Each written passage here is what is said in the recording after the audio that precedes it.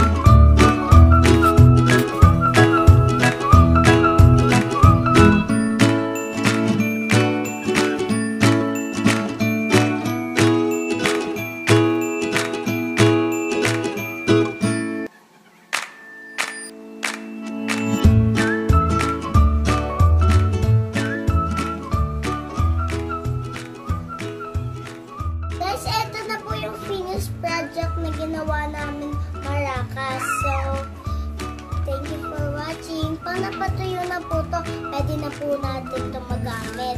So, thank you for watching po.